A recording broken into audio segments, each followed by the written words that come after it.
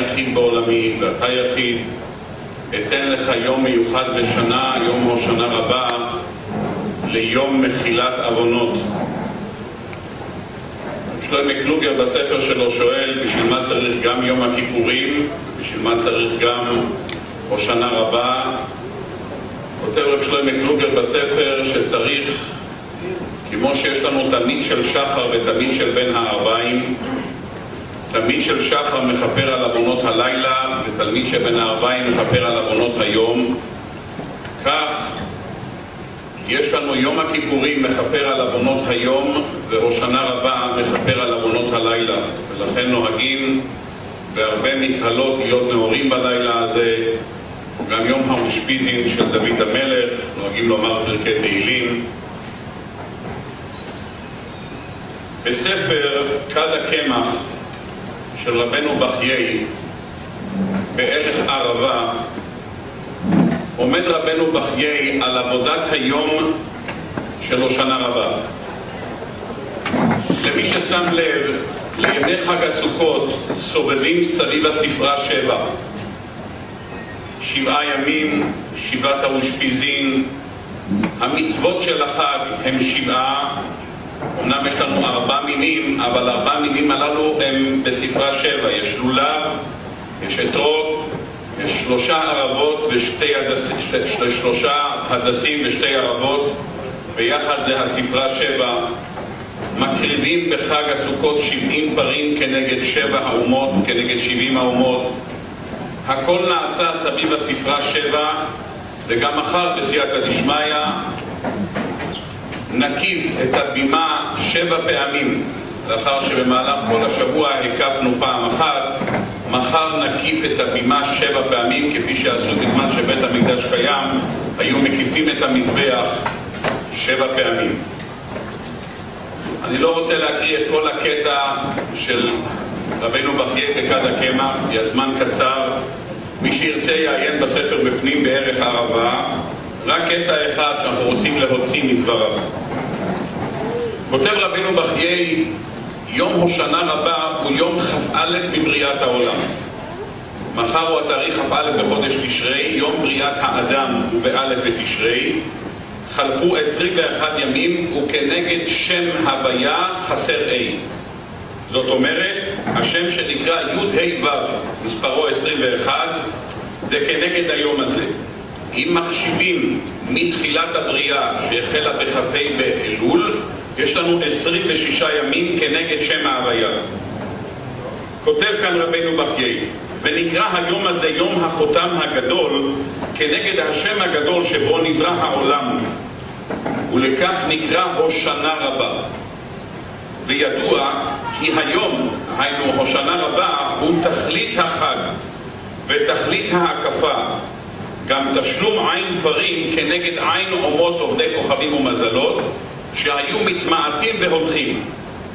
והנה ההקפה לרמוז להם כליה והחרטה מן העולם. רמז לדבר יריחו, שבכל יום ויום היו מקיפים את העיר פעם אחת, וביום השביעי הקיפו אותה שבע פעמים. דכתיב ויהי ביום השביעי, ויסובו את העיר שבע פעמים, ותיפול החומה תחתיה, בזמן שהיה בית המקדש קיים, היו מקיפין המזבח בכל יום פעם אחת, ובשביעי שבע פעמים. מגלה לנו כאן רבינו בחיי יסוד, שאנחנו טיפה ננסה להרחיב בו. אנחנו בעצם מקיפים את הבימה מחר שבע פעמים, כמו שהקיפו את חומות יריחו. יהושע בן נון ביום השביעי, זה היה בשבת, שבעה כהנים, שבע שופרות, שבע פעמים, הקיפו את יריחו עד שנפלו החומות. כנגד זה, אנחנו נקיף מחר את המזבח שבע פעמים. והשאלה שנשאלת היא מה הקשר בין ההקפות שאנחנו נעשה מחר לבין ההקפות שעשה יהושע בן נון מסביב לחומת יריחו, מה עלינו ללמוד מההקפה של חומת יריחו שבע פעמים בשבת עם שבע שופרות, שבעה כהנים, מה כל זה נוגע אלינו לעבודת השנה רבה ומה אנחנו לוקחים מזה לעבודת היום-יום. לנו לא נשאר זכר מיריחו. יהושע כבש את יריחו והקדיש אותו חרם להשם כידוע לכולם, ואמר שמי שיבנה את יריחו בבכורו ייסדנה ובצעירו יציב דלתיה. אמר יהושע בן נון, משיבנה את יריחו העיר במקומה, או עיר אחרת ויקרא ליריחו, כל הילדים שלו ימותו. וכך היה. אדם אחד שקוראים לו חיאל בית האלי, תסתכלו בעמוד האחרון של מסכת סנהדרין, הגמרא שם מרחיבה, שאחר בא לנחם אותו, והקדוש ברוך הוא שלח את אליהו הנביא לשם, כל מה שהגמרא מרחיבה בהרחבה רבה בסוף מסכת סנהדרין. דבר אחד נשאר לנו מיריחו, ואנחנו אומרים אותו שלוש פעמים ביום, ורב האי גאון מגלה לנו שאת הפיוט שאנחנו אומרים בסיום התפילה עלינו לשבח לאדון הכל, הפיוט הראשון בקטע של עלינו לשבח, יש לאחר מכן קטע נוסף שהוא על כן נקווה. הפיוט הראשון של עלינו לשבח הוא הפיוט שכתב אותו יהושע בן נון לאחר כיבוש יריחו. כך כותב הווי גאון, והוא כותב שמה מביא גם כן כמה וכמה מפרשים מביאים את זה מבארי התפילה שהיסוד הזה שאנחנו אומרים אותו לאחר התפילה בכל יום, כותב רבי גאון, הוא מתקנת רבן יוחנן בן זכאי לאחר חורבן בית שני.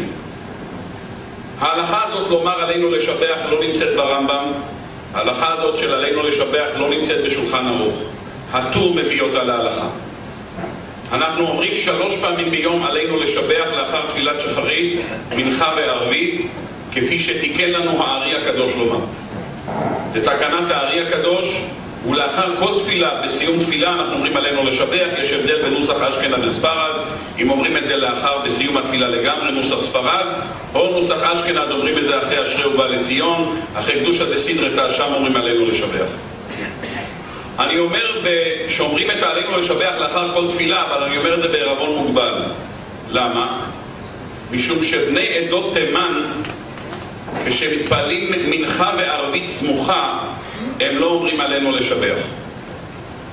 מי שהיה פעם בבית הכנסת של עולי תימן יודע שגומרים מנחה, מיד אחרי זה מסמיכים לזה ערבית, לא אומרים עלינו לשבח. מה המנהג הזה של סמוכה? המשנה ברורה מביא את זה. האמת היא שגם בני עדות ספרד ובני עדות אשכנז כך עושים, אבל לא במנחה וערבית, עושים את זה, גם היום בבוקר עשו את זה. גמרו תפילת שחרית לפני מוסף, לא אמרו עלינו לשבח. כי התפילה סמוכה אחת לחברתה. אנחנו גם בשבת, אחרי שחרית, לא אומרים עלינו לשבח, רק אחרי מוסף, כשיוצאים מבית הכנסת, אומרים עלינו לשבח. גם זה בעלבון מוגבל, כי חסידי וישנית למשל, לאחר תפילת שחרית של שבת, אומרים עלינו לשבח, כמדומני שגם בחסידות ביאליק כך נוהגים. השאלה היא מתי אומרים עלינו לשבח ומתי לא אומרים. אם הזיכרון שלנו לא קצר מדי, אנחנו בסך הכל ימים ספורים לאחר יום הכיפורים. ובני עדות אשכנז לא אומרים עלינו לשבח כל תפילת יום הכיפורים.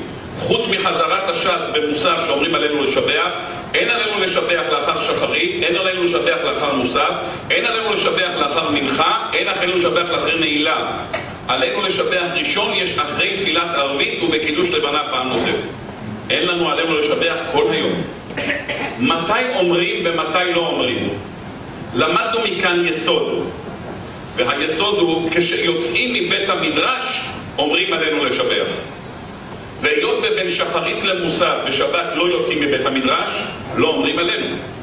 התימנים, בני עדות תימן, שלא אומרים בין מנחה לערבית, כי זה סמוכה לחברתה, הם לא יוצאים מבית המדרש, אז הם לא אומרים עלינו לשבח. אנחנו היום בבוקר גמרנו שחרית, לא אמרנו לשבח. כשיצאנו מבית המדרש אמרנו עלינו לשבח. ביום הכיפורים שנוהגים כל היום להיות בבית המדרש, אז לא אומרים עלינו לשבח. יוצא שעלינו לשבח אומרים לפני שיוצאים לרחוב. עוזבים את בית הכנסת, אומרים עלינו לשבח. והשאלה היא מה משמעות הדבר.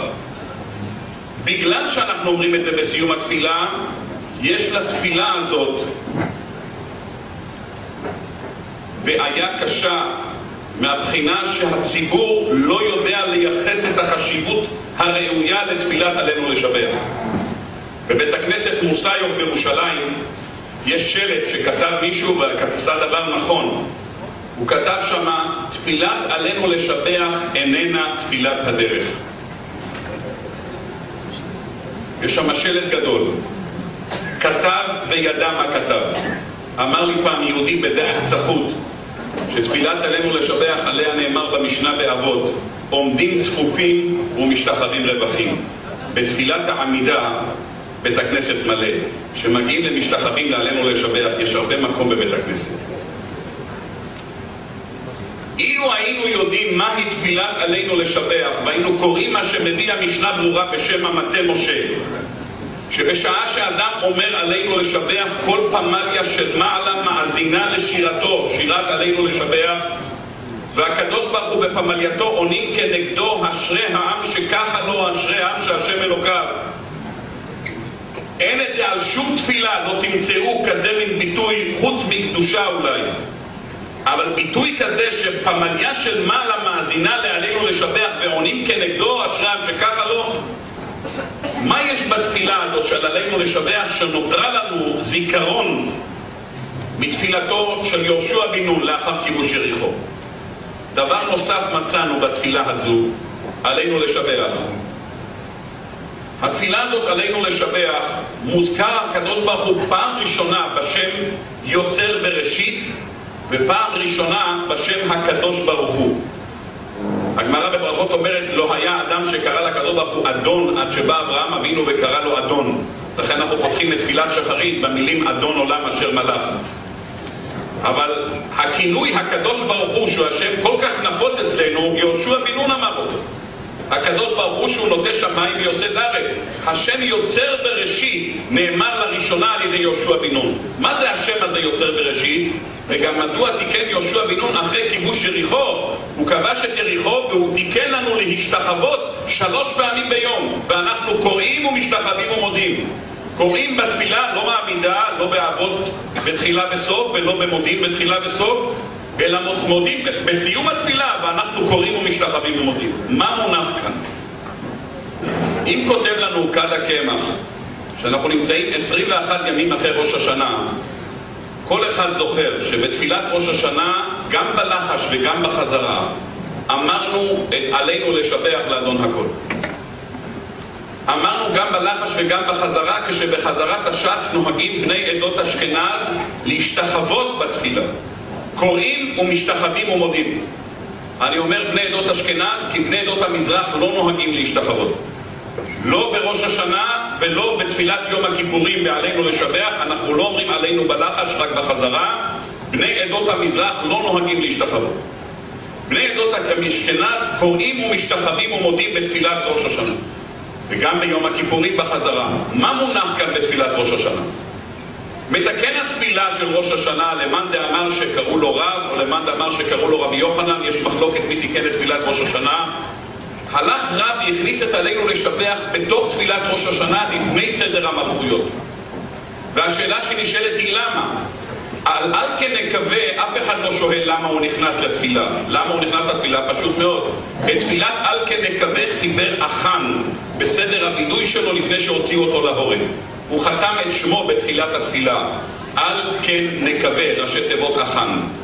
הוא תיקן את התפילה הזאת, זה הווידוי שלו לפני פתילתו, והקטע האחרון שם, ונאמר והיה השם למלך על כל הארץ, זה שייך לסדר המלכויות של ראש השנה. כי הגמרא במסכת ראש השנה אומרת שבמלכויות זיכרונות ושופרות צריכים לומר שלושה פסוקים מן התורה, שלושה פסוקים מן הנביאים, שלושה פסוקים מן הכתובים ומסיים בשל תורה. הפסוק הראשון בתורה שמדבר על מלכות זה השם ימלוך לעולם ועד בשירת הים. אז ממילא מובן מדוע אנחנו אומרים על כן נקווה, אבל מה קשור עלינו לשבח? מה זה קשור לסדר המלכויות? מדוע נקרא הקדוש ברוך הוא בשם יוצאי בראשית? ומדוע תקנו לנו להשתחוות בראש השנה? כדי להבין מה מונח כאן, אני רוצה לומר בתמצות רב את היסוד של העבודה שלנו שנוציא מעבודת הושנה רבה, מהשבע הקפות שהן כנגד חומת יריחו, ולהבין לקראת מה אנחנו הולכים. ישנו מדרש שמופיע בפרשת כי תבוא. אומר המדרש על הפסוק בואו נשתחווה נכרעה נברכה, אומר המדרש כיוון שראה משה רבינו ברוח קודשו שעתיד בית המקדש להיחרב ועתידים הביקורים להתבטל, עמד והתקין להם שלוש תפילות ביום. שנאמר בואו, בואו נשתחווה, נכרעה נברכה. כל מי שקורא את זה במדרש שואל את עצמו, מה? משה רבינו תיקן שלוש תפילות ביום? הגמרא בברכות דף חב"ב אומרת שהאבות תיקנו את התפילות במקום קורבנות, מה פתאום משה רבינו תיקן? יש כמה תירוצים בעניין, אני חושב שמונח כאן יסוד. השאלה הנוספת שצריכה להישאל, כיוון שמשה רבינו ראה ברוח קודשו שבית המקדש עתיד להיחרב, אז לא רק ביקורים לא יהיה. לא יהיה ביקורים ולא חטאת ולא עולה ולא שלמים ולא תודה, כלום לא יהיה. אז מה פתאום ראה שזה יתבטל, אז הוא תיקן משהו במקום ביקורים? כדי להבין מה מונח כאן, נאמר את היסוד, שלדעתי זה מה שכתוב במדרש. בתורה אין ציווי להשתחוות חוץ מפעם אחת, במצוות הביקורים. במצוות הביקורים זה המקום היחיד בתורה שממנו לומדים את כל דיני ההשתחוויה לכל התורה כולה. המקור שלה במצוות ביקורים. והשתחווית לפני השם אלוקיך. זה קשור גם לסוכות.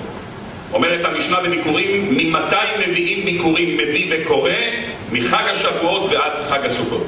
מחג הסוכות ועד החנוכה מביא ואינו קורא, אומרת המשנה בביקורים. למה? כי צריכים להביא את זה מתוך שמחה. בין שבועות וסוכות יש שמחה. המקום היחיד שהקדוש ברוך הוא מצווה להשתחוות זה רק במצוות הביקורים. מצאנו בעוד מקום בתורה שהקדוש ברוך הוא מצווה להשתחוות, אבל רק ל-74 אנשים. הקדוש ברוך הוא מצווה את משה רבינו לעלות להר, ועלית אתה ואהרון נדב ואביהו בשבעים מזקני ישראל, והשתחוויתם מרחוק.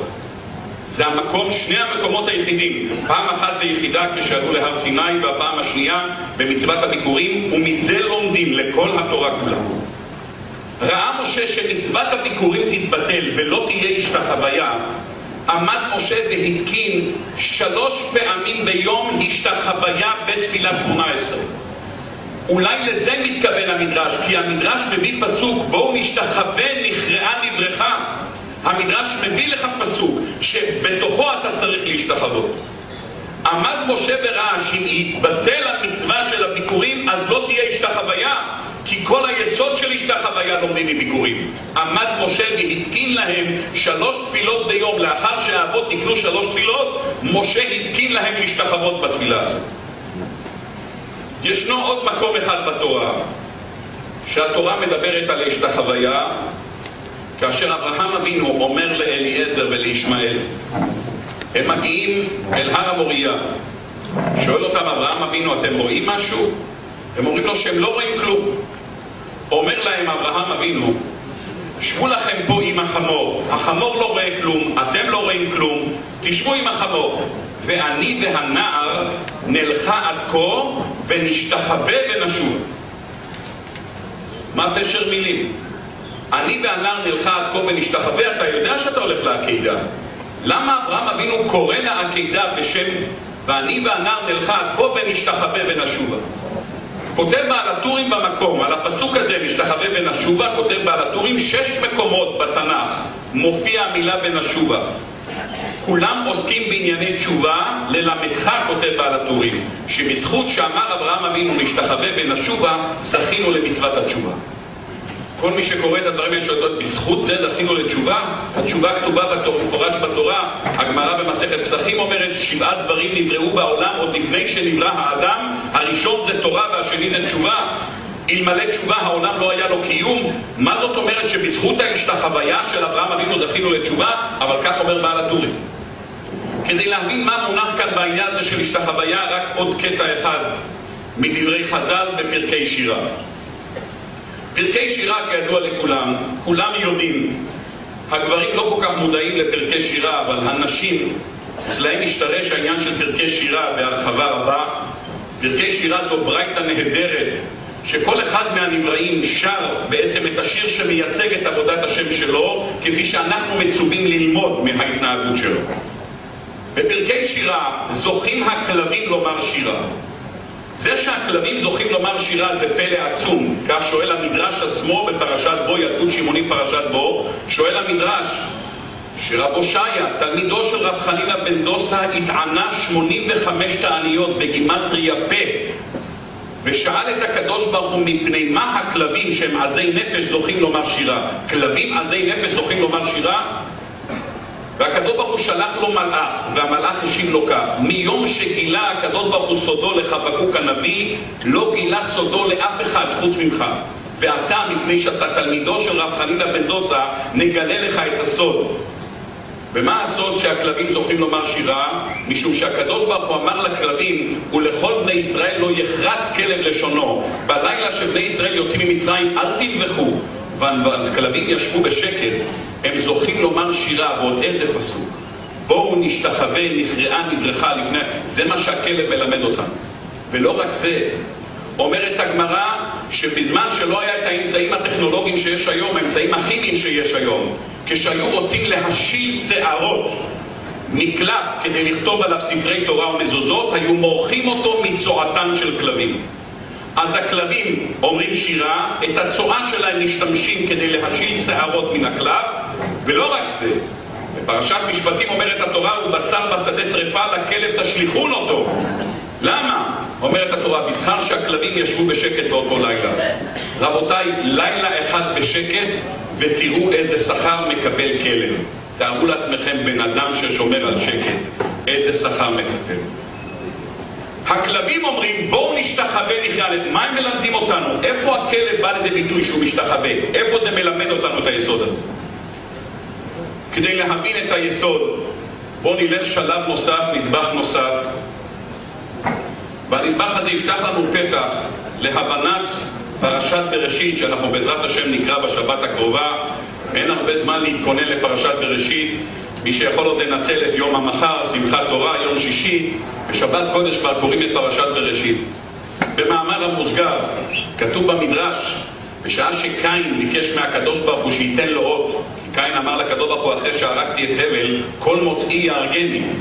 אמר לו הקדוש ברוך הוא נתן לו אות, שואלים חז"ל איזה אות הוא נתן לו. מביא המדרש ארבעה דברים.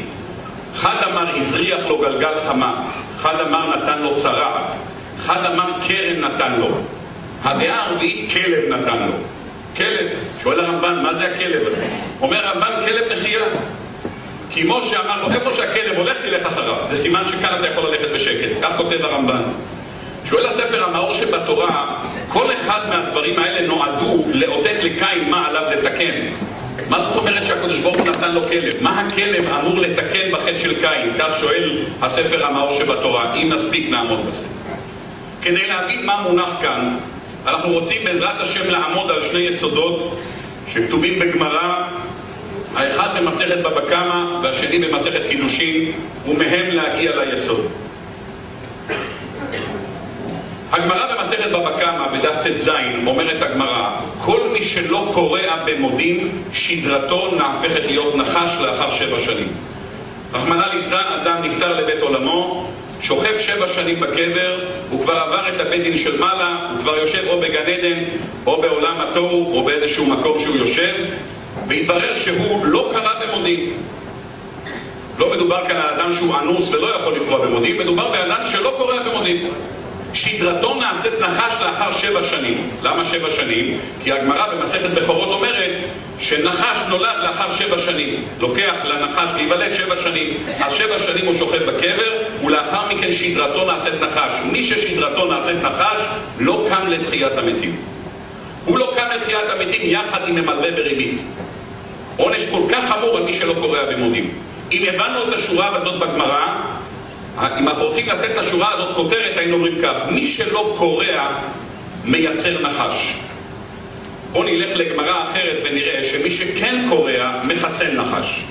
גמרא במסכת קידושין בדף כ"ט עמוד ב' מספרת הגמרא סיפור שרב אחא בר יעקב הודיע לאביי שהוא בא לבקר אותו הוא בא לבקר אותו, אמר אביי לאנשי בית הכנסת שלו, אני מבקש מכם שאף אחד לא יזמין אותו להתארח בביתו. הלילה הוא חייב להישאר לנון בבית המדרש.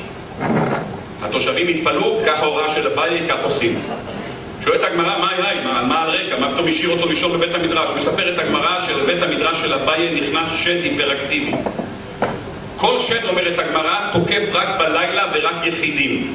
השד שנכנס לבית מדרש של אביי תקף גם ביום וגם זוגות ואביי לא הצליח לחסל את השד. אמר אם יבוא רב אחא בר יעקב לבית מדרש הוא בתפילות שלו יצליח להרוג את השד. אומרת הגמרא רב רב אחא בר יעקב הגיע לבית מדרש, תמיד הוא היה רגיל שהוא בא לבית המדרש, כולם קופצים עליו, כבוד הרב יגיע אליי בבוקר, כבוד הרב יאכל אצלי צהריים, כבוד הרב בערב, כבוד הרב ישן אצלי בשבת. כל אחד, כאן אף אחד לא ניגש, משאירים אותו בית מדרש, הוא יתפלא, אבל הוא לימד על כולם זכות כנראה, שיש סיבה למה לא מזמינים אותו. הוא נשאר לנום בבית המדרש, ובאמצע הלילה יוצא השד ממחבואו, אומרת הגמרא, והיה נדמה לו כנחש בעל שבעה ראשים. רב אחא בר יעקב מוצא מולו נחש בעל שבעה ראשים ומתחיל להתפלל. הוא נעמד בתפילה, וכל פעם שהוא קורא בפני הקדוש ברוך הוא, נופל ראש של הנחש. שבע פעמים הוא קרא, נפלו שבע ראשי נחש. ראיתי שמבארים מביאים, מבארי התפילה, שלכן אנחנו קוראים שבע פעמים בשמונה עשרה. אבות תחילה וסוף, מודים תחילה וסוף, ועושה שלום במרומיו, ואנחנו עושים שלוש פעמים. אז יש כאלה שרק עושים ככה, ועושים בקינגלה ודרבה מיני. אבל צריכים לעשות כמו שכתוב בהלכה, יש לך שבע פעמים. השבע פעמים האלה כנגד שבע הקריאות שעשה רב אחא בר יעקב. שבע הקריאות האלה הורידו את שבע הראשים של הנחש. בבוקר הגיע אביי, אומר לו רב אחא בר יעקב, סיכנת את חיי. והמהרש"א במקום במסכת קידושין שואל איך היה מותר לאביי לעשות כזה דבר, להשאיר אותו, והרי הגמרא אומרת שאסור לאדם להכניס את עצמו למקום סכנה, שמא אין עושים לו נס, ואם עושים לו נס מנקים לו מזכויותיו, אז איך עשה את זה אביי שהשאיר אותו שם עם השד? לא ניכנס מי שירצה יעיין שם המהרש"א. דבר אחד למדנו מהגמרא הזאת, שמי שמשתחווה מוריד ראש של נחש. אם הגמרא במסכת בבא קמא אומרת שמי שלא משתחווה מייצר ראש של נחש, רב אחא בר יעקב השתחווה ובכל השתחוויה הוא הוריד ראש של נחש. במגלה עמוקות, בפרשת ואתחנן, מביא המגלה עמוקות פסוק שמופיע בפרשת וישלח. בפרשת וישלח השתחווה יעקב שבע פעמים לפני עשיו. מה פתאום הוא השתחווה שבע פעמים לפני עשיו? כותב המגלה עמוקות כדי להכניע את שבע הכוחות של היצר הרע שנמצאים אצל עשיו. שבע, שנאמר גם בעל הטורים מביא את זה, שבע ייפול צדיק וקם, הוא השתחווה שבע פעמים. אומר המגלה עמוקות, אבל יעקב אבינו לא הספיק להדביר את היצר הרע, את הכוחות של הנחש, את הסדרה אחרא. בשעה שהוא שולח את הדורונות לעשיו, עשיו אומר לו, אחי, מה פתאום שלחת לי? ואז הוא אומר לו את המשפט, אחי, המשפט אומר, יש לי רב אחי. כך אומר עשיו ליעקב אבינו. כותב המגלה עמוקות, אמר לו, נכון אמרת, יש לי רב אחי. עוד יבוא רב אחא, שהוא ימשיך את השבע השתחוויות כדי לחסל לגמרי את הכוח של הסדרה אחרא. וזה מה שאמר לו, יש לי רב אחי, אומר המגלה עמוקות, לכן קוראים לו רב אחא בר יעקב. הוא רב אחא, הבן של יעקב, שממשיך את אותה עבודה שהייתה אצל יעקב אבינו. אם נחזור על הדברים שאמרנו ונסכם אותם, אי השתחוויה מייצרת נחש, השתחוויה מחסלת נחש. שבע השתחוויות מחסלים את שבע הכוחות של הנחש. איזה שבע כוחות? גמרא במסכת סוכה, דף נ"ב, אומרת הגמרא, שבע שמות יש לו ליצר הרע. הקדוש ברוך הוא קראו רע בפרשת השבוע שנקרא פרשת בראשית, הוא נקרא שונא, הוא נקרא אבן, הוא נקרא גם צפוני. זה אחד השמות שלו. תסתכלו בגמרא, שבע שמות מביאה הגמרא לגבי היצר הרע. שבע השמות אלה שבע כוחות של היצר רע, שכדי להכניע אותם צריכים לבצע שבע השתחוויות. זה מה שעשה יעקב אבינו בפני עשיו, זה מה שעשה רב אחא בר יעקב בפני אותו נחש בעל שבע ראשים. רבותיי, אנחנו רוצים לעבור לפרשת בראשית. בפרשת בראשית נקרא בעזרת השם בשבת שהקדוש ברוך הוא מצווה על אדם הראשון לא לאכול מעץ הדת. אדם הראשון אומר לאשתו לא רק לא לאכול, גם לא לגעת. ועל זה אומרים חז"ל כל המוסיף גורר. הוא רצה לעשות סייגים ואמר לה גם לא לגעת בעץ. בא הנחש ואומר לחווה, אתם יודעים למה הקדוש ברוך הוא לא מרשה לכם לאכול מעץ הדת? הקדוש ברוך הוא אומר לכם, לא לאכול, יש לזה סיבה. הקדוש ברוך הוא יודע כי ביום אוכלכם ממנו והייתם כאלוקים יודעי טוב ורע. אומר רש"י בשם המדרש, אמרה, אמר הנחש לחווה, זה שהקדוש ברוך הוא לא רוצה לתת לכם לאכול, כי הקדוש ברוך הוא אכל מן העץ הזה וברא עולמות, וכל אומן שונא בני אומנותו. הקדוש ברוך הוא כביכול לא רוצה קונקורנציה. אם אתם תאכלו, תהיו גם כן בורא עולמות. הוא לא רוצה, לכן הוא לא מרשה לכם לאכול מעץ הדת. כך אומר רש"י בשם חז"ל במדרש. הגמרא במסכת סנהדרין, בדף ל"ח עמוד ב', אומרת הגמרא, אדם הראשון כופר היה. דעה אחרת בגמרא, אדם הראשון מין היה. שואל הספר תורת חיים, מה שייך לומר אדם הראשון כופר היה? במה שייך לכפור? מי כופר במה? אדם הראשון לבדו בעולם עם חווה והקדוש ברוך הוא. מה יש לכפור? באיזה כוח אתה יכול להאמין חוץ מהבורא יתברך? אומר התורת חיים יסוד נורא, והיסוד הזה הוא מסביר באמצעותו כמה דברים פלאיים. רש"י הרי אומר שהאדם הראשון בשעה שהשתכנע לאכול מעץ הדעת, כשחווה התפתתה על ידי הנחש, מה אמר לה הנחש? מה שהקדוש ברוך הוא לא נותן לכם לאכול מעץ הדעת, כי הקדוש ברוך הוא אכל מן העץ הזה וברא עולמות. זאת אומרת, שלפני שהקדוש ברוך הוא ברא את העולם, היה כאן עץ שממנו הקדוש ברוך הוא התחיל לברוא את העולמות. זאת אומרת שהקדוש ברוך הוא הוא לא ראשון, יש לפניו עץ. אם אתם מאמינים לתזה של הנחש, שיש כאן עץ שממנו אכל הקדוש ברוך הוא כביכול, אתם כופרים בעיקר. אומרת הגמרא, אדם הראשון כופר בעיקר היה. אם אתה יכול להאמין שהקדוש ברוך הוא אכל מן העץ וברא עולמות, אתה כופר בעיקר. חז"ל, כך מביא הספר תורת חיים, תסתכלו במדרש רבה. אומרים חז"ל, בשעה שהנחש בא לפתות את חווה, הוא ניצב בקומה זקופה. כך כתוב בחז"ל. מה זה קומה זקופה? מה ביאור המילה קומה זקופה? אומר הספר תורת חיים, אם אתה רוצה לדעת מה זה קומה זקופה ומה העונש שקיבל הנחש, תסתכל בעונש שלו ותבין מה זה קומה זקופה. בין הדברים שהנחש קיבל בעונש שלו, אומר לו הקדוש ברוך הוא, על גחונך תלך, ועפר תאכל כל ימי חייך. מה זה העונש של על גחונך תלך? אומר רש"י, מלמד שלנחש היו רגליים. הקדוש ברוך הוא העניש אותו והורידו לו את הרגליים, חז"ל מדברים שבשעה שהמלאכים הורידו לו את הרגליים, היה קולו של הנחש נשמע מסוף העולם ועד סופו. למה הקדוש ברוך הוא הוריד לו את הרגליים? אומר הספר תורת חיים, אם תבין את העונש, תבין גם מה היה החטא. אומר המדרש, אדם כשעה שהנחש בא לפתות את חווה, הוא עמד בקומה זקופה. מה זה קומה זקופה?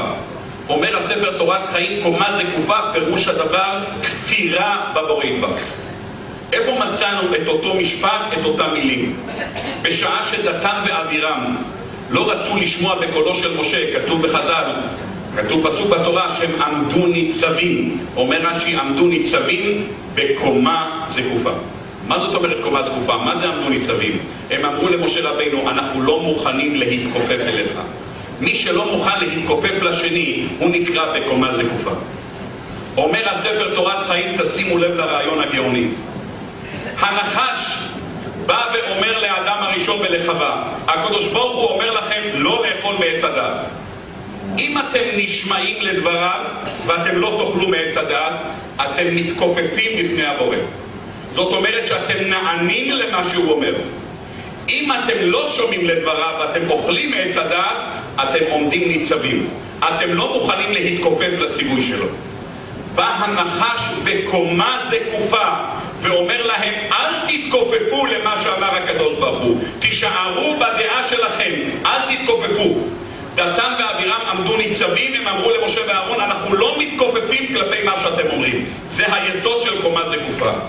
אמר לו הקדוש ברוך הוא, אתה לא מתכופף, אני אוריד לך את הרגליים, אתה תלך כל הזמן כפוף. יוצא שהיצר הרע הוא הסדרה אחר, הוא הנחש הקדמוני. בשעה שהוא מנסה להחטיא אותנו, הוא אומר לנו, רבותיי, אל תתכופפו בפני ציווי הבורא. והתפקיד שלנו הוא להיות כפופים בפני עבודת השם. להיות כפופים לציווי הקדוש ברוך הוא. זה העניין של השתחוויה. השתחוויה פירוש הדבר, אני מכופף את עצמי בפני מה שהבורא ציווה. אם אלה הם פני הדברים נוכל להבין למה רב או רבי יוחנן הכניסו את עלינו לשבח בתפילת יום ראש השנה, בתוך תפילת המוסף לפני המלכויות. כולנו יודעים שבכ"ה באלול תחילת בריאת העולם. כך מביא כאן כד הקמח לרבנו בחיי, שאנחנו 26 ימים היום מהיום הראשון שבו החל להיברות העולם. 21 ימים מראש השנה. ב-21 הימים שמראש השנה, שחלפו 21 ימים, בראש השנה הוא א' בתשרי יום שישי בשבוע. מה קרה ביום הזה? תסתכלו בר"ן במסכת ראש השנה בדף ג' מדפי הריף. שעה ראשונה עלה במחשבה, שעה שנייה התייעץ הקדוש ברוך הוא עם מלאכי השרת האם לברוא את האדם. בשעה שלישית קיבץ עפרו, בשעה רביעית רקמו, בשעה חמישית קיבלו, בשעה שישית עשאו גולם, בשעה שביעית נפח בו נשמה, בשעה שמינית הכנסו לגן עדן, בשעה תשיעית ציווה עליו לא לאכול מעץ הדעת, בשעה עשירית שרף, בשעה אחד עשר נידון, בשעה שנים עשר יצא בדימוס. זאת אומרת שהאדם הראשון בשעה העשירית של א' בתשרי חטא באכילת עץ הדעת. ב-11 הקדוש ברוך הוא ישב אצלו בדין, ב-12 יצא בחנינה. אמר לו הקדוש ברוך הוא לאדם הראשון, זה יהיה סימן לבניך. כשם שעמדת לפניי בדין ביום זה, ויצאת בדימוס, יצאת בחנינה, כך כל בניך אחריך יעמדו לפניי בדין ביום זה. ולכן כל בני האדם נידונים בראש השנה. כל בניו של אדם הראשון, ועל המדינות בו יאמר איזו לחרב ואיזו לרעב, כולם נידונים.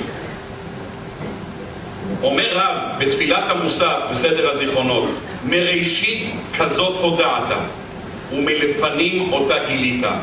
זה היום תחילת מעשיך, זיכרון ליום ראשון. אנחנו חוזרים לנקודת ההתחלה. מה היה בנקודת ההתחלה? בשעה העשירית של ראש השנה אומר הקדוש ברוך הוא לאדם בשעה התשיעית לא לאכול מעץ הדעת בעשירית בא אליו הנחש ואומר לו תאכל מעץ הדעת אל תתכופף בפני הקדוש ברוך בא רב מתקן התפילה של ראש השנה ואומר לך תגיד עלינו לשבח לאדון הכל לתת גדולה ליוצר בראשית אותו יום גדול של בראשית ברא אלוקים, אותו יום גדול שבו נברא האדם, ומה תעשה? ואנחנו קוראים ומשתחווים ומודים בראש השנה. למה? לתקן את מה שהאדם הראשון לא רצה להשתחוות בפני הקדוש ברוך הוא.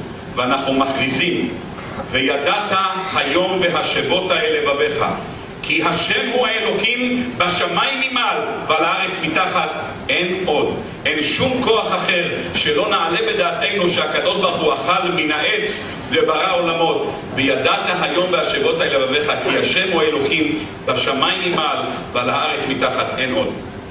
יוצא שההשתחוויה שלנו בראש השנה זה התכופפות כדי לתקן את חטא אדם הראשון. בשעה שאדם מתמודד עם יצר הרע והיצר הרע אומר לו כן לדבר לשון הרע. היצר הרע אומר לו כן לשקר. והקדוש ברוך הוא אומר לו לא לדבר לשון הרע ולא לשקר. אז אם הוא עומד בציווי, הוא מתכופף בפני הקדוש ברוך הוא. אם הוא לא עומד בציווי והוא עובר על העבירה, הוא נשאר זקוף, הוא לא מתכופף. אם אלה הם פני הדברים, נוכל עכשיו להבין מה אומר אברהם אבינו לאליעזר ולישמעאל. תפתחו מדרש ילקוט שמעוני בשעה שאברהם אבינו הולך לעקידה. מנסה אותו נחש הקדמוני, אותו סמ"ם, לחסום את אברהם אבינו מללכת לעקידה. הוא אפילו יוצר לו נהר כדי שאברהם אבינו לא יוכל לעבור, הנהר הגיע לו עד הגרון, עד שצעק אברהם אבינו לקדוש ברוך הוא ריבונו של עולם, הושיע, כי באו מים עד נפש. זאת אחת הסיבות שאנחנו אומרים לומר תשליך ליד נהר כדי לעורר חסדי אברהם, כך אומר המשנה ברורה. יוצא שהחטא הזה שמנסה השטן לעכב את אברהם אבינו מללכת לעקידה אומר השטן, הוא הסמ"ם, הוא הנחש הקדמוני, אומר לאברהם אבינו, אתה הולך לעקוד את הבן שלך? בן שניתן לך למאה שנה, היום בן 37, אתה הולך לשחוט אותו? אתה יודע שימים יבואו והוא יתבע אותך ששפכת דם נקי? אתה שניתן לך בן למאה שנים, מאה שנים המתנת לילד עכשיו אתה הולך לשחוט אותו? אמש אמר לך כי ביצחק יקרא לך זרע, והיום אומר לך להעלות אותו לעולה? זה בסך הכל ניסיון אם תשחוט אותו. אם תשחוט אותו הוא יתבע אותך, למה שפכת דם נקי? אומר לו אברהם אבינו לשטן, אומר, אני בתומי אלך. מה שאני הולך לעשות זה מה שהקדוש ברוך הוא ציווה. לא מבין שום חוכמות. נכון, אתמול אמר לי כי מצחק יקרא לך זרע. אני הולך לעשות מה שהקדוש ברוך הוא ציווה. אומר אברהם לאליעזר ולישמעאל, ואני והנער נלכה עד כה ונשתחווה ונשוב. כל הפעולה שלנו הוא להתכופף בפני הבורא. למה? כי אותו סמ"ם אומר לי, אל תתכופף. אומר בעל הטורים, זה יסוד התשובה. למה זה יסוד התשובה? בגלל שכל מה שאומר לך השטן, הוא אומר לך, אל תתכופף. באותו רגע שהלך אברהם אבינו והתכופף ונשתחווה ונשובה, כותב בעל הטורים, זה יסוד התשובה. ברגע שאדם מתקן את עצמו ומשתחווה, בזה הוא מתקן את כל הפעמים שהוא לא השתחווה בפני הקדוש ברוך הוא. זה יסוד העבודה בראש השנה, ולכן ביום הכיפורים, יום מחילת עוונות, אנחנו שוב פעם קוראים ומשתחווים. למה? לתקן את כל אותם פעמים שהשטן הצליח להפיל אותנו ולא להשתחוות בפני הקדוש ברוך הוא. אם אלה פני הדברים, נוכל בעזרת השם עכשיו להבין למה הכלב אומר בואו נשתחווה בחירה נברכה. רבותיי, אין לילה יותר גדול לכלב לנבוח כמו הלילה של יציאת מצרים. למה? כי הגמרא במסכת פסחים אומרת שבשעה שמלאך המוות נמצא בעיר, כלבים צועקים. לכן בתל אביב כל הזמן יש נביחות. כל הזמן מלאך המוות שם. מלאך המוות נמצא בעיר, אומרת הגמרא, כלבים צועקים. לילה כזה שאין בית אשר אין שמן. נכון, הקדוש ברוך הוא, הוא בא, הקראתי כל חור בארץ מצרים, לילה שיש מוות. לילה של כלבים, הזמן שלהם לנבוח. הכלבים סוגרים את הפה. למה? אבל הם רוצים לנבוח, זה הלילה שלהם. הקדוש ברוך הוא אמר לא. אם הכלב עושה מה שהקדוש ברוך הוא אומר לו, ולכלב אין לו עולם הזה ולא עולם הבא, אין לו לא גן עדן ולא גיהנום. הוא עושה מה שהקדוש ברוך הוא אומר, אומר הכלב, תלמד ממני. בואו נשתחווה, נכרעה נברכה. תראה איך שהקדוש ברוך הוא אומר לי פעם אחת משהו, ואני כבר מתכופף בפניו. הלך יהושע בן נון, לאחר כיבוש יריחו. כיבוש יריחו, כך כותב הבאר משה מאוז'רו, בביאורו לספר יהושע. ביריחו התמקדו כל שורשי היצר הרע, כל שבע הכוחות התמקדו ביריחו. הם ישבו שם, הם השורשים של השבעה עממים שהיו בארץ ישראל. כל הכוחות של הרשע התמקדו ביריחו. כדי להכניע את כוחות הרשע, אומר הבאר משה מאושרוב, כמו שרב אחא בר יעקב השתחווה שבע פעמים, אמר הקדוש ברוך הוא להקיף את יריחו שבע פעמים. שבע פעמים, שבע הקפות, יכניעו את חומות יריחו. כשאמרו שבע פעמים, שבע הקפות, שבע שופרות, בשבת קודש הכניעו את כוחו של הסטרא אחא והחומות נפלו. בדיוק כמו שעשה רב אחא בר יעקב, שבע השתחוויות, כדי להכניע את הנחש בעל שבעת הראשים. זה היסוד של הקפת חומות יריחו. הולך יהושע בן נון לאחר שהוא הקיף את יריחו, כבש את יריחו, הוא מקדיש אותה קודש להשם. חרם לשם. למה חרם לשם? אמר יהושע בן נון, אם הקדוש ברוך הוא מבקש ממני מאיתנו ביקורים, אדם רואה פרי ראשון קושר עליו גמי ואומר קודש לשם. הקדוש ברוך הוא רוצה מאיתנו את הבן הבכור, הקדוש ברוך הוא רוצה מאיתנו את הבהמה הבכורה, הקדוש ברוך הוא רוצה מאיתנו ביקורים, מעשרות, חלה. אומרים חז"ל, בראשית ברא אלוקים את השמיים ואת הארץ בשביל ישראל שנקראו ראשית ובשביל התורה שנקרא ראשית. זה רש"י מביא. במדרש מוסיפים עוד שלושה דברים. בזכות מעשר, שנאמר ראשית דגנך, בזכות הפרשת חלה שנאמר ראשית הריסותיכם וברשות ביקורים שנאמר ראשית ביקורי אדמתך תביא בית השם אלוקיך אמר יהושע בן נון אם הקדוש ברוך הוא רוצה את כל הראשית העיר הראשונה שכבשנו זה יריחו זה יהיה קודש לשם כמו ביקורים, כמו חלה, כמו בן בכור אותה קדושה יהיה לעיר יריחו. עלינו לשבח לאחר כיבוש יריחו לתת גדולה ליוצר שרוצה מאיתנו את הבראשית. מי שרוצה מאיתנו את הבראשית, את הביקורים, את החלב, את המעשרות, ואת הבן הבכור, ואת הבהמה הבכורה, לא אנחנו נקדיש את העיר יריחו, שתהיה קודש להשם. זה העבודה שיש לנו בעלינו לשבח, וזאת העבודה שמחר נעשה בשבע הקפות. כותב רבנו בחיי בכד הקמח, שבע ההקפות שאנחנו נעשה כנגד חומות יריחו. מה זה חומות יריחו? חומות יריחו, להקיף אותם היה להכניע את אותם שבע כוחות של הנחש, שכולם היסוד של שבע עממין, הקפנו אותם שבע פעמים, שבע שופרות. הקדוש ברוך הוא תקע בשופר מלמעלה, כך מביא בעל הטורים, כך מביא בעל צרור המור בפרשה סיטרוי. לפני שיהושע תקע, במשוך היובל המה יעלו בהר, כותב רבנו בכיה, בשעה שיהושע תקע בשופר מלמעלה, תקע הקדוש ברוך הוא בשופר מלמעלה. מלמעלה. יוצא שהקדוש ברוך הוא תקע כנגד יהושע. זה כיבוש יריחו, זה ההכנעה שנדרש מאיתנו להשתחוות בפני הקדוש ברוך הוא. אנחנו מסיימים את הימים הנוראים. מחר בעזר השם, היום האחרון מ-21 הימים של הושענא מתוך מכלול של 51 ימים שהתחילו בראש חודש אלול ומסתיימים בהושענא רבה. מסיימים אותם בשבע הקפות. לומר לנו, אנחנו יוצאים החוצה ל-12 וחצי חודשים רצופים. השנה שנה מעוברת, מה עלינו לעשות? באו מתקני התפילה ואמרו לנו, עלינו לשבח לאדון הכל, אומרים בסוף התפילה, לפני שאתה יוצא לרחוב. למה לפני שאתה יוצא לרחוב? מסיבה פשוטה. אתה יוצא לרחוב, שם מחכה לך יצר הרע. אם פגע בך מנוול זה, מושכהו לבית המדרש, המנוול לא מחכה בבית המדרש. אתה יושב בחוץ, שם הוא מחכה לך. שם הוא יתחיל לשכנע אותך, כמו ששמענו מהרב קליין שליטה, שם הוא ינסה לשכנע אותך שלא להיות ישר, כי מי שהולך ישר מגיע למשרד הסעד. שם הוא ישכנע אותך שכדאי לגנוב בחברת הביטוח. שם הוא ישכנע אותך בכל מיני אצטלאות של הצטדקות, לומר לך, תשמע, בוא תראה, דרבנקו אתה יודע, איך אומרים, לא הוא לא הולך 400 בלי נטילת ידיים, בכל מקום הוא לוקח משהו. אדם צריך לדעת, השם ברא את האדם ישר, והמה ביקשו חשבונות רבים. נדרש ממנו להיות ישר. באו מתקני התפילה, בא הארי הקדוש ואמר, בסיומה של תפילה, תגיד עלינו לשבח. למה? ואנחנו קוראים ומשתחווים ומודים. אל תהיה זקוף, אל תהיה בצד של היצר הרע. תהיה בצד של ואנחנו קוראים ומשתחווים. אל תהיה כגויי הארצות. אל תחשוב שהכוחות של העבודה זרה, של כוחי ועוצם ידי, עשה לי את החיל הזה. תזכור, וידעת היום בהשבות אל לבביך, כי השם הוא אלוקים בשמיים ממעל ועל הארץ מתחת אין עוד. אין שום כוח אחר מבלעדי הבורא, רק כוחו של הקדוש ברוך הוא.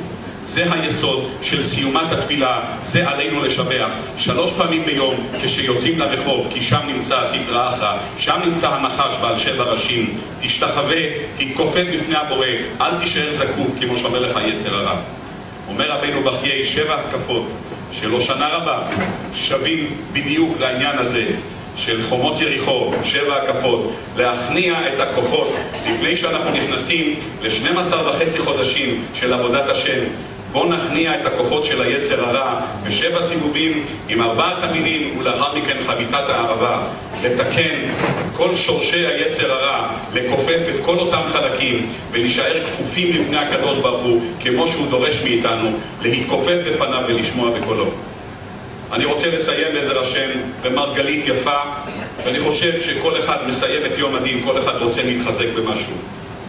שמעתי מיהודי אמין מאוד לפני כמה חודשים סיפור נפלא, שאם נצא מזה מחוזקים, היום אנחנו אין לנו ביקורים, אבל כמעט אותו נוסח הבידוי של מיקרו ביקורים נמצא בברכת המזון. נודה לך השם אלוקינו על שנחת על אבותינו, ארץ דת טובה רחבה ועד פשטנו בארץ מצרים ודנו בית עבדים. כל הבידוי שמופיע במיקרו ביקורים, הכל נאמר במצוות ברכת המזון. סיפר לי יהודי אמין שאחד מאנשי ירושלים סיפר לו, כלי ראשון שסיפר לאותו יהודי שסיפר לי, שהיה לו שכן בבניין, יהודי מבוגר, ישיש, כבר 80, למעלה מ-80, 85, הוא בא לגור שם בבניין, הוא רואה שהיהודי הזה, ברכת המנון לוקחת לו רבע שעה. רבע שעה.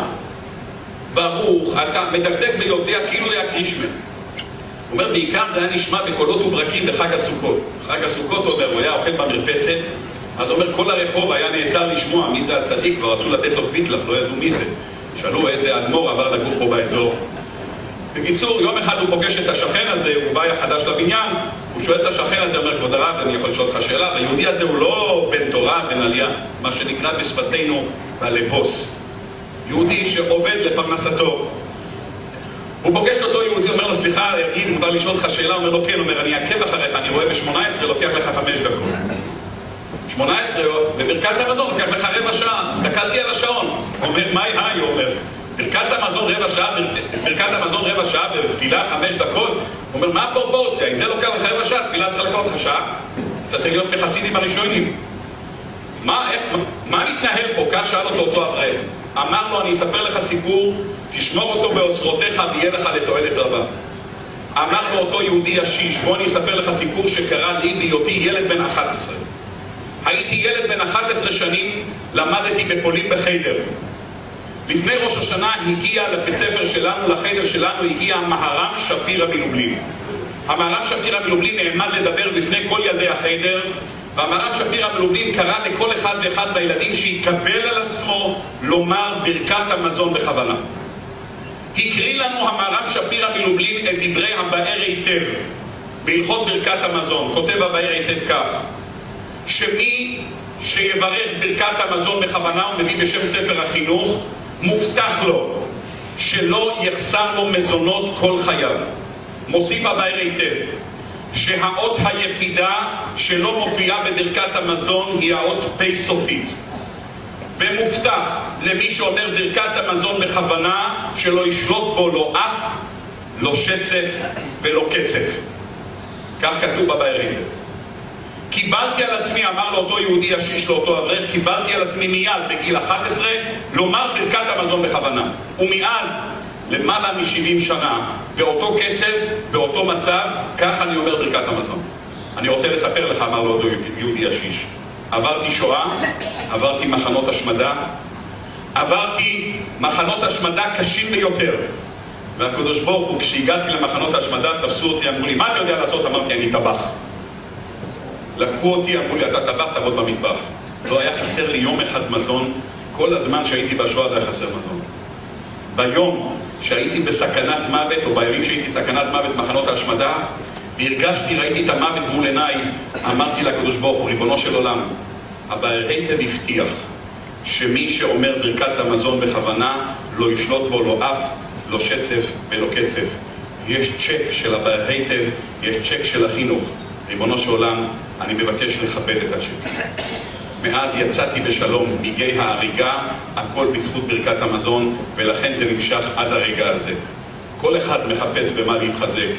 בימים קשים אלה, שמזונותיו של אדם אינם מצויים כל כך, אמנם זה עכשיו עדיין ניתן לשנות, הלילה הזה זמן של תפילות על גשמים, הגשמים, כולם מחכים לגשם, כולם יודעים כמה גשם, כמה מים חסר בארץ ישראל. זה הזמן שמתפללים גם על פרנוסה. תקראו מה אומרים בהושענא מחר, כמה מבקשים מהקדוש ברוך הוא שלא יחסר, שיושיע את הפירות שלנו, שיושיע את היבול שלנו. הכל מבקשים שתהיה פרנסה ושפע. מבקשים פרנסה ושפע. מגלה לנו הבאר היטב, ברכת המזון בכוונה יכולה להגן עלינו מפני קשיים בפרנסה. ברכת המזון בכוונה יכולה להציל אותנו משצף, מאף ומקצב. יזכנו הקדוש ברוך הוא, שיטיב לנו החתימה על תולי ארץ על גלימה, ונזכה כולנו, השטה, לביאת פועל צדק, ונחתם כולנו בספרם של צדיקים גמורים לשנת גאולה וישועה, כל אחד ואחד למה שהוא צריך, ימלא השם בטובה את כל צרכיו, ונזכה לשמוע סוף סוף את כל שופרו של משיח צדקנו במרב ימינו אמן ואמן.